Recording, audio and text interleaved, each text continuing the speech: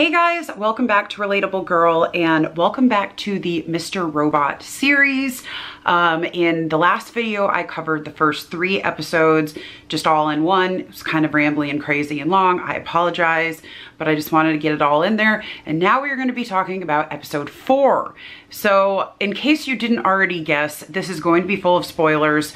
Please, if you are planning to watch the series, or if you have already watched the first three seasons and you're going to be watching the fourth and you don't want to have spoilers, keep that in mind. Don't watch and don't get mad at me if you don't want to have spoilers because from here on out, there are going to be spoilers.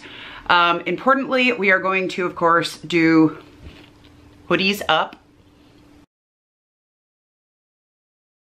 Now that we have our hoodies in place and we've talked about the spoiler thing, we can start the video. I had forgotten a couple things in that last video just because I was trying to cram three episodes into one. One thing that I really found interesting and fascinating about those first three episodes was the relationship that Elliot ended up having so quickly um, with Olivia. I absolutely loved the idea of him kind of meeting somebody who is so similar to him. And I liked that when he first knew that, you know, he needed to get the key from Olivia, he thought, you know, how am I going to do this? Am I going to like, you know, um, get her addicted to some kind of drug again and blackmail her? Am I going to like take it by force or what? And then, you know, the Mr. Robot side of him stepped in and was very charming and flirted with her and they ended up talking and having this great experience. Then, of course, um, you know, they went home together and after she was asleep, he was able to get the key. But then we had this moment where she came in to the bathroom where he was like hiding with the key and what would have possibly been a really serious confrontation ended up turning into a surprisingly very subtle and sweet emotional exchange between two very troubled people. So I just wanted to throw in there now that I really loved that. I forgot to mention that before. I thought that was great. I really liked getting to see that side of Elliot and kind of um, you know, see him have a human connection again for the first time in a while. He's lost so much. He's become such a hard shell of a person that it was nice to see him have that humanity again for a little while. So episode four. Ep episode four is quite different from the three before because in this one we really don't see much of, you know, White Rose or any of her associates or even like the Dark Army. Like there's little bits about them in here, but it's not as focused on that. This episode is much more focused on Elliot and Darlene. I really enjoyed the um, interactions Darlene had with the man whose car she tried to steal you know, that conversation that they had in the car where he's talking about all these very sad things that have happened to him and you can see that she's feeling for him. And you know, I thought the little twist where she finds out that she had misunderstood almost everything that he said and actually things weren't that bad. I thought that was an interesting twist just because it does tell us more about her really than it does about this rando guy in a Santa suit. It shows us that Darlene does see, you know, she sees the feeling side of things far more often than Elliot does, of course, but you know, she had empathy for this guy that she barely knew and for the wife that she had never met and, you know, the children that he works with and whatever. So I thought that was really interesting. I thought that was a really great like humanization of Darlene. I enjoyed that subplot. I loved the twist that they get back to his house and find out that his car is at the house and that they had just accidentally stolen someone's car. I thought that was great. Um, it was just a tiny bit of humor in a otherwise pretty grim episode. Um, and then we have Dom's storyline. And I know somebody had commented on my last video and asked like how I feel about what they've done with Dom. I, I don't know. I don't know because I loved Dom. Dom was one of my favorite characters before and it's been hard watching her just break down again and again, lower and lower.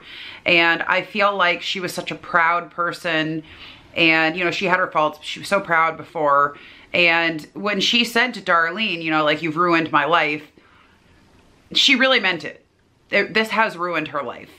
Um, I felt like her storyline in this particular episode wasn't super necessary. Um, I know that the person in the comment had mentioned, you know, that some people feel like her episode or her storylines aren't needed at all. I completely disagree with that. I think we need to know what's going on with her. I think her presence in the last couple episodes was great. There was so much tension between her and that weird taxidermy lady and like her at home with her mom. This episode, however, I feel like kind of went back downhill from there and just it didn't add a lot to the story. If the little dream sequence that she had had been real, I feel like that would have been super intense and I would have been like, okay, I get it. But the fact that it was a dream sequence, that felt a tiny bit cheap to me. It's one of the only times so far in the show where I was kind of like, uh, did you really? Like, did you need to do that? Like, uh, kind of felt like cheap tension because it freaked us out and then it wasn't real. I'll be interested to see what they do with her though, and I do want them to follow through with her and give her some kind of redemption because this woman has been through so much. And, um, you know, she's obviously still thinking about Darlene and I would like to see their storylines come back together somehow if possible. So about Elliot. Elliot has become such a just um, hard shell of a person. Like that's what I kept thinking. I kept thinking like he's just a hard shell. There's so little humanity left in him. And when he's speaking with Tyrell and he's yelling at him and telling him like, I just used you, I never needed you, whatever. Um, it's hard to tell in that moment, in that particular moment, does he really mean that? Is that really true? Does he really not have any feelings? Like, has he always been this way? Or is he saying these things out of um, you know, just snapping or, or, or whatever, but it's not really true. And then you do have this really beautiful human moment where he admits that he knows that their whole like subplot of this episode is probably going to end in them getting killed and he just really wants a chance to get to tell his sister what's going on and have her get to safety. And we needed to see that. Even if Darlene hasn't gotten to see that yet, we needed to see that. We needed to see that he does love her and care about her. She has done so much for him and he hasn't really appreciated it in the ways that he should. He's taking care of her in his own way. And I think that's where the like loss of communication comes in because he's not super honest with all that he does for her. And he's not, you know, grateful enough outwardly for the things that she does for him. So I loved getting to see that little glimmer of humanity left in him and the fact that, you know, if there's one thing left he can do, it would be to try and warn her to get to safety. Um, I liked that a lot. And then, you know, at the end of the episode, we had this kind of unexpected like shootout moment. And Tyrell is wounded. And then we have this, you know, this really beautiful cinematography, beautiful writing, beautiful acting in the last like three minutes of this episode because it took that happening for Elliot to realize that there is more humanity left in him, you know, and seeing that happen to Tyrell, especially after him like yelling all this stuff about, you know, I don't really need you. I just used you and whatever. And then in this moment, he's like, wait, no, I don't want to leave you behind. I don't want you to die. I don't want to do this. Um, I thought that was a beautiful moment. The acting was really good and the cinematography was just outstanding. And the very last scene of this episode is so spooky and just beautifully shot. And it's moments like that where I'm like, this show is just so good. It's so good. Um, I'm going to be interested to see, of course, what happens in the next episode. And there's a part of me that's like, okay, am I missing something?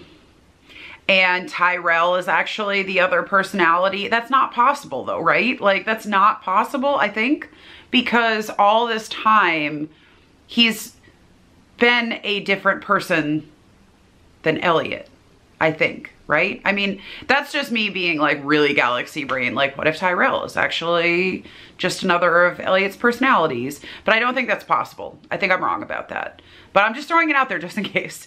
And I, I, I highly doubt that's true, but I'm just throwing it out there. So anyway, these are my rambly thoughts about this episode. Um, I was definitely really hooked as always. I'm gonna be super interested to see what happens next.